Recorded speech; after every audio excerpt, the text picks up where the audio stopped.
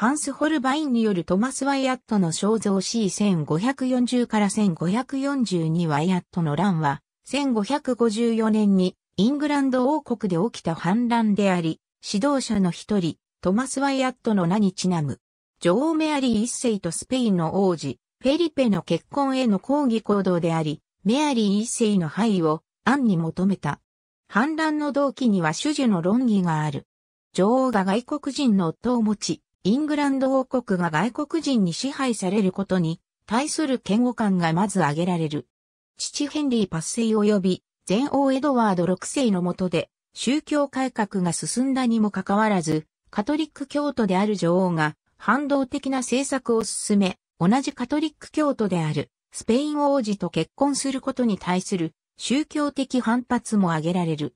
当時スペインでは異端審問が盛んであり、反乱の指導者はすべてプロテスタントであった。女王の廃位を意図したとされるが、公には言明されなかった。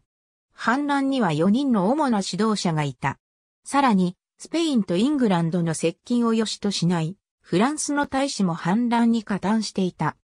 4人の指導者は、それぞれの本拠の地域で兵を挙げ、ロンドンに攻め寄せ、メアリー一世を退位させて、プロテスタントの妹エリザベス王女を王位につけ、さらに、デボン博、エドワード・コートニーと結婚させるつもりであった。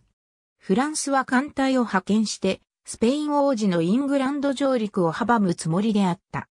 だが、神聖ローマ帝国大使シモン・ルナールが計画を嗅ぎつけ、大法官であった司教スティーブン・ガードナーに知らせ、逮捕されたデボン博が計画を漏らすことになった。ヘンリー・グレイは挙兵を諦めて逮捕され、やがて斬首された。先の陰謀で入牢中だった娘のジェーン・グレイとその夫のギルフォード・ダドリーは、この反乱には無関係だったが、警戒されて、やはり処刑された。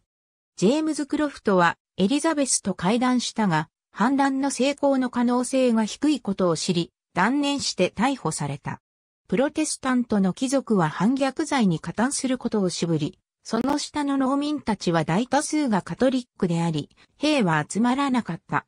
ピーター・カルーはノルマンディに逃亡したが逮捕された。フランス艦隊は引き返した。1554年1月、トマス・ワイアットのみが兵を集めて挙兵した。ケント州では宗教改革の勢いが強く、カトリックのスペイン王子と女王メアリー一世の結婚は不人気であった。トマス・ワイアットは鎮圧軍からの転向者を吸収し、その軍は3000の兵に膨れ上がった。老いたノーフォーク公の軍が鎮圧に向かったが、やはり1000の兵が転向し、ノーフォーク公はロンドンに逃げ戻った。エリザベス王女は宮廷に召喚されて監禁された。女王は24時間以内に武装解除をして自宅へ帰った者は恩赦するとし、またワイアットの首に賞金をかけた。反乱軍はロンドン防衛にあたる女王の鎮圧軍のウィリアム・ハワード男爵によってロンドン入城を阻止され、ハントたちはロンドン入試を果たせず、やがて死産した。残った反乱軍の多くは処刑された。トマス・ワイアットはエリザベス王女の関与について厳しい尋問を受けた。後に斬首され、四つ先にされたからだと、首は晒し物にされた。ジェームズ・クロフトとピーター・カルーは捕らえられたが、やがて釈放された。一方、欧米エリザベス王女がワイアットの乱に加担したとの容疑を受けた際には、ハワード男爵は王女を擁護した。エリザベス王女は厳しく尋問され、処刑される可能性もあったが、懸命な供述で刑を逃れた。